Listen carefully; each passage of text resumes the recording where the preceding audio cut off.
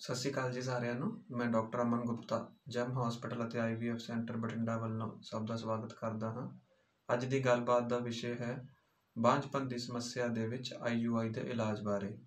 IUI ਦਾ ਮਤਲਬ ਹੈ ਇੰਟਰਾਯੂਟਰਾਈਨ ਇਨਸੈਮੀਨੇਸ਼ਨ ਜੇ ਕੁਦਰਤੀ ਤੌਰ ਤੇ ਬੱਚਾ ਠਹਿਰਨ ਬਾਰੇ ਗੱਲ ਕਰੀਏ, ਤਾਂ ਔਰਤਾਂ ਦੀ ਅੰਡੇਦਾਨੀ ਦੇ ਵਿੱਚ ਅੰਡਾ ਬਣਦਾ ਹੈ। ਇਹ ਅੰਡਾ ਟਿਊਬ ਰਾਹੀਂ ਚੱਲ ਕੇ ਬੱਚੇਦਾਨੀ ਵੱਲ ਆਉਂਦਾ ਹੈ।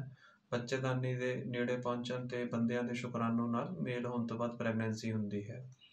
ਆਈਯੂਆਈ ਇੱਕ ਬਹੁਤ ਹੀ ਸਧਾਰਨ ਜਿਹਾ ਇਲਾਜ ਹੈ।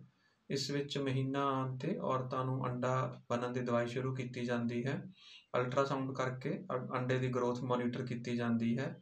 ਬੰਦਿਆਂ ਦਾ ਵੀਰਜ ਲੈ ਕੇ ਇੱਕ ਸਪੈਸ਼ਲ ਟੈਕਨੀਕ ਦੇ ਨਾਲ ਉਸ ਨੂੰ ਵਾਸ਼ ਕਰਕੇ ਉਸ ਵਿੱਚੋਂ ਚੰਗੇ ਸ਼ੁਕਰਾਣੂ ਅਲੱਗ ਕਰ ਲਏ ਜਾਂਦੇ ਹਨ। ਇਹ ਸ਼ੁਕਰਾਣੂ ਇੱਕ ਕੈਨੂਲਾ ਦੇ ਰਾਹੀਂ ਬੱਚੇਦਾਨੀ ਦੇ ਅੰਦਰ ਛੱਡ ਦਿੱਤੇ ਜਾਂਦੇ ਹਨ। ਅੰਦਰ ਜਾ ਕੇ ਅੰਡੇ ਅਤੇ ਸ਼ੁਕਰਾਣੂ ਦਾ ਮੇਲ ਕੁਦਰਤੀ ਤਰੀਕੇ ਨਾਲ ਹੀ ਹੁੰਦਾ ਹੈ। ਇਹ ਇਲਾਜ ਔਸਤਨ ਮਹੀਨਾ ਆਉਣ ਤੋਂ ਬਾਅਦ 13ਵੇਂ ਤੋਂ 14ਵੇਂ ਦਿਨ ਦੇ ਆਸ-ਪਾਸ ਕੀਤਾ ਜਾਂਦਾ ਹੈ। ਆਈਯੂਆਈ ਦੇ ਦੌਰਾਨ ਮਰੀਜ਼ ਨੂੰ ਕੋਈ ਦਾਖਲ ਨਹੀਂ ਕਰਨਾ ਪੈਂਦਾ। ਸਿਰਫ 3 ਜਾਂ 4 ਵਾਰ ਮਰੀਜ਼ ਨੂੰ ਹਸਪੀਟਲ ਆਉਣਾ ਪੈਂਦਾ ਹੈ। ਕੋਈ ਰਾਤ ਨਹੀਂ ਰੁਕਣਾ ਪੈਂਦਾ। ਜਿਸ ਦਿਨ ਆਈਯੂਆਈ ਕਰਨੀ ਹੁੰਦੀ ਹੈ ਸੇਮ ਡੇ ਪੇਸ਼ੈਂਟ ਘਰ ਭੇਜ ਦਿੱਤਾ ਜਾਂਦਾ ਹੈ। ਇਸ ਦੌਰਾਨ ਪੇਸ਼ੈਂਟ ਨੂੰ ਕੋਈ ਵੀ ਦਰਦ ਨਹੀਂ ਹੁੰਦਾ। ਕਿਸੇ ਕਿਸਮ ਦੇ ਕੋਈ ਬੈੱਡ ਰੈਸਟ ਦੀ ਲੋੜ ਨਹੀਂ ਹੁੰਦੀ। ਪੇਸ਼ੈਂਟ ਸੇਮ ਡੇ ਘਰ ਜਾ ਕੇ ਆਪਣਾ ਸਾਰਾ ਰੂਟੀਨ ਕੰਮਕਾਜ ਆਪ ਕਰ ਸਕਦਾ ਹੈ। ਜੇ ਕਿਸੇ ਵਿਆਹਿਤ ਜੋੜੇ ਨੂੰ ਵਿਆਹ ਤੋਂ ਬਾਅਦ ਬਹੁਤ ਦੇਰ ਵੀ ਇਲਾਜ ਕਰਾਉਣ ਤੋਂ ਬਾਅਦ ਸੰਤਾਨ ਸੁੱਖ ਨਹੀਂ ਮਿਲਿਆ, ਤਾਂ ਆਈਯੂਆਈ ਇੱਕ ਬਹੁਤ ਅੱਛਾ ਇਲਾਜ ਹੈ। ਜੇ ਕਿਸੇ ਹਸਬੈਂਡ ਦੀ ਸੀਮਨ ਦੀ ਰਿਪੋਰਟ ਬਹੁਤ ਵਧੀਆ ਨਾ ਹੋਵੇ, ਉਹਦੇ ਵਿੱਚ ਡੈਡ ਸਪਰਮਸ ਜਾਂ ਪਸ ਸੈੱਲ ਬਹੁਤ ਜ਼ਿਆਦਾ ਹੋਣ, ਤਾਂ ਵੀ ਆਈਯੂਆਈ ਬੱਚਾ ਲੈਣ ਲਈ ਇੱਕ ਬਹੁਤ ਵਧੀਆ ਇਲਾਜ ਹੈ।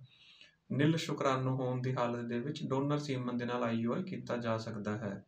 ਜੇ ਕੋਈ ਹਸਬੈਂਡ ਅਤੇ ਵਾਈਫ ਸਹੀ ਤਰੀਕੇ ਨਾਲ ਫਿਜ਼ੀਕਲ ਰਿਲੇਸ਼ਨ ਨਹੀਂ ਕਰ ਪਾਉਂਦੇ, ਤਾਂ ਵੀ ਆਈਯੂਆਈ ਦੀ ਤਕਨੀਕ ਦੇ ਨਾਲ ਬੱਚਾ ਲਿਆ ਜਾ ਸਕਦਾ ਹੈ।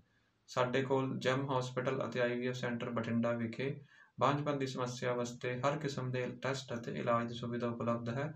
ਸੋ ਜੇ ਤੁਸੀਂ ਵੀ ਇਸ ਸਮੱਸਿਆ ਤੋਂ ਜੂਝ ਰਹੇ ਹੋ, ਤਾਂ ਤਾਂ ਆ ਕੇ ਸਾਡੇ ਐਕਸਪਰਟਸ, ਐਕਸਪਰਟ ਡਾਕਟਰਸ ਨੂੰ ਮਿਲੋ, ਉਹਨਾਂ ਦੀ ਸਲਾਹ ਲਓ ਅਤੇ ਆਪਣਾ ਢੁਕਵਾਂ ਇਲਾਜ ਕਰਾਓ, ਤਾਂ ਜੋ ਪ੍ਰਮਾਤਮਾ ਨੇ ਚਾਹਿਆ ਤਾਂ ਤੁਹਾਡੇ ਘਰ ਵੀ ਖੁਸ਼ੀਆਂ ਆ ਸਕਣ। ਧੰਨਵਾਦ ਜੀ।